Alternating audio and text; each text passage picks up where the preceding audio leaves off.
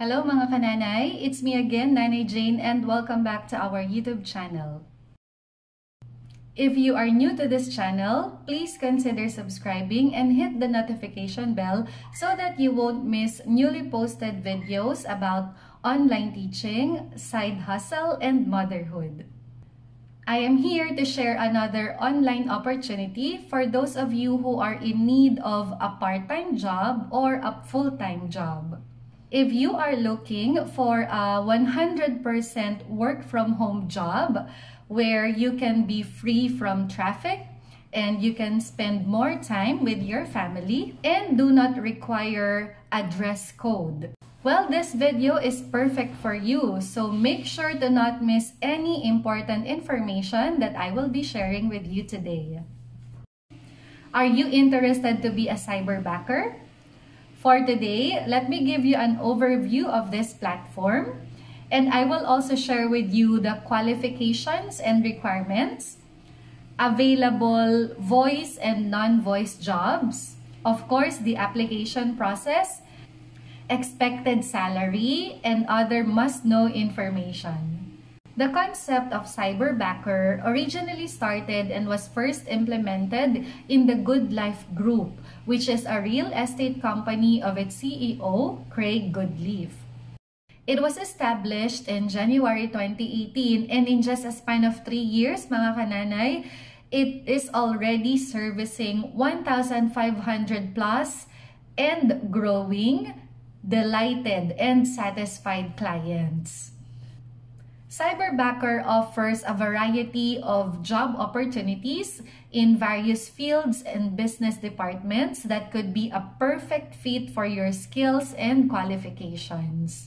With that being said, each job requires a certain qualification that's different from the others. But let me give you their general requirements. For skills, you must have a good command of the English language. And of course, because your clients would be um, from all over the world. And a typing speed of at least 60 words per minute. Some of you might be asking, Nanay Jane, paano yon? 40 or 50 words per minute lang ako. Hindi na ba ako pwedeng mag-apply or uh, marireject na ba yung application ko kung hindi ko ma-achieve yung 60 words per minute? Well, don't worry mga kanani dahil nagfo-focus sila sa qualifications mo and sa skills mo at hindi lang sa typing speed. So, ang titingnan nila is yung overall package mo pa din. And then, of course, you must be of legal age which is 18 years old and above. Now, for computer requirements, your processor must be dual core, at least 1 gigahertz or above. Intel Core i3, i5, or i7, or AMD equivalent. Sa RAM naman, they require at least 4 gigabytes and 8 gigabytes is actually recommended with 60 gigabytes free hard disk space available. So, para maging smooth yung paggawa mo ng mga tasks, or responsibilities mo as a cyberbacker, kailangan uh, maayos yung equipment na gagamitin mo. And then, you will also be required to have a headset with noise cancelling feature and high definition webcam. Now, for internet connection, 5 Mbps and up wired DSL internet connection. Take note mga kanana, USB sticks, signal-based and wireless connections are not allowed. For the list of available jobs, as I mentioned earlier, Cyberbacker offers a variety of job opportunities, so they update their job openings daily. So make sure to regularly visit their website. The link is in the description box to stay up to date and apply for the position of your choice. So if you will go to their website, the link is in the, in the description box again of this video. Click nyo lang yung careers.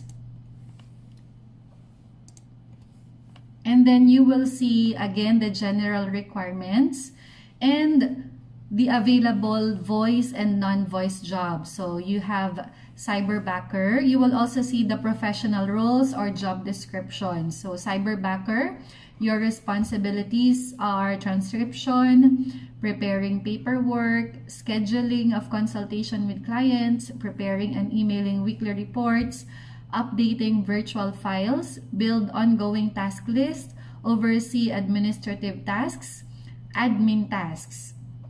And then you also have uh, graphic backer. You have the requirements also. You will see the requirements.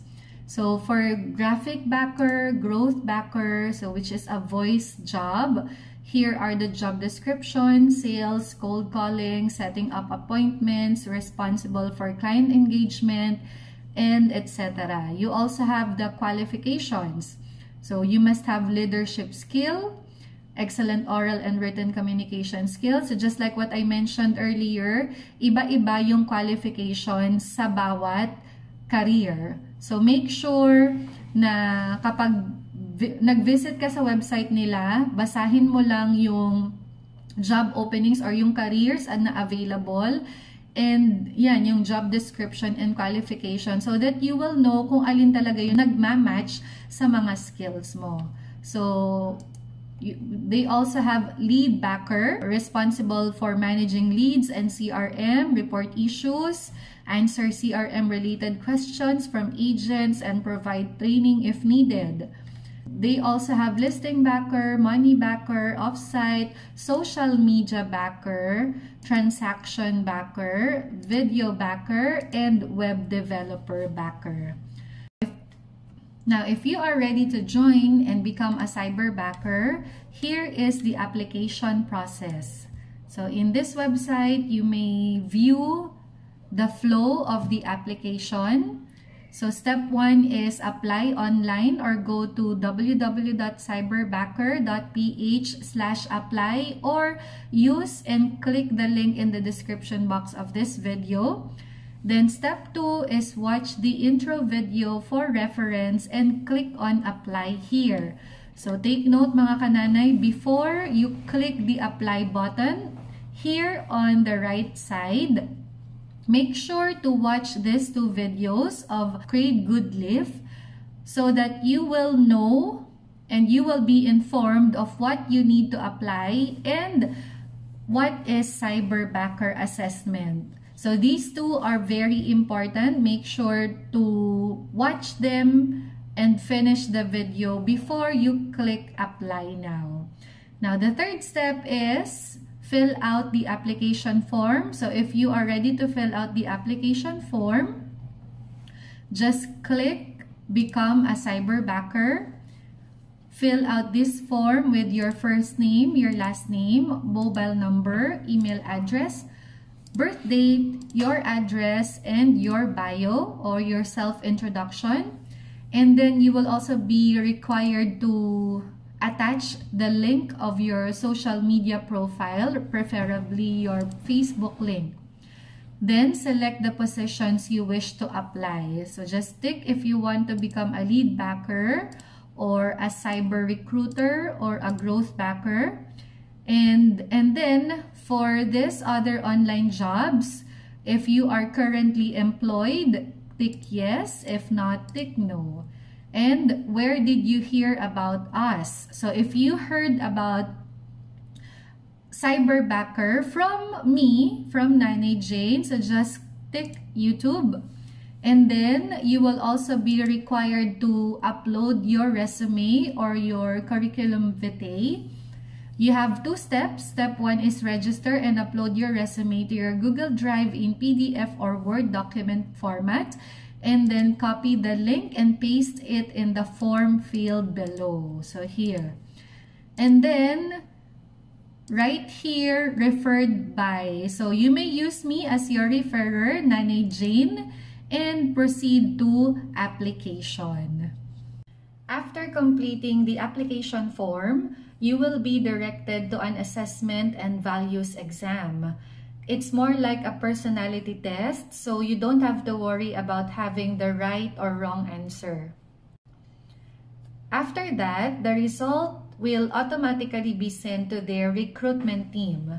And once you're done taking the values exam, you have the option to proceed with the initial interview. So, after mong mag-fill out ng form and mag-take ng assessment test, pwede ka nang mag-proceed right away, agad-agad sa initial interview kung ready na ang equipment mo at kung ready na yung sarili mo. So kung ready na yung sarili mo for the initial interview, make sure that your equipment is ready as well. So you may take or you may proceed with the initial interview if you already have your webcam, your headset, and your computer. So make sure na gagamit ka ng headset, not earphones, and computer or laptop or desktop and not your cell phone.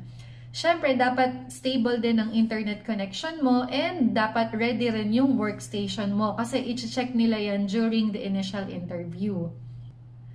Now, if you think hindi ka pa ready and hindi pa ready yung equipment mo, you also have the option to wait for the initial interview invite after 24 to 48 hours after submitting your application. And once you're done with the initial interview, the results will be sent 24 to 48 hours via email. Then, kung nakapasa ka sa initial interview, there will be a second assessment which depends already on the career or job that you are applying for. And after thorough evaluation, if your personality traits and cognitive thinking abilities suited the position that cyberbacker is looking for, then you will be endorsed to the final interview. Now, the big question is, magkano nga ba ang expected income or service fee if you are a cyberbacker? So, of course, it still depends on your skills and sa contract mo with the client, but there is a chance to earn up to 1,500 US dollars. And cyberbackers are paid twice a month via Payoneer.